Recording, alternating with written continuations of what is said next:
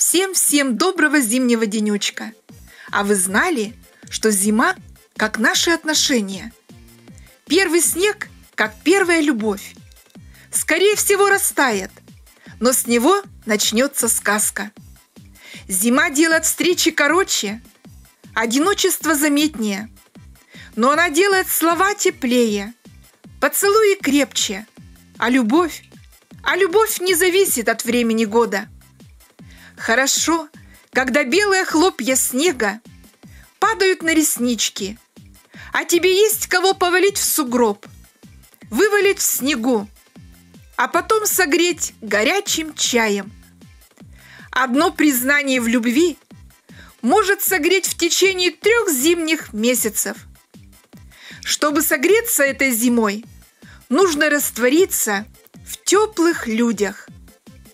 Зима – это время года, которое физически отталкивает, но притягивает душевно.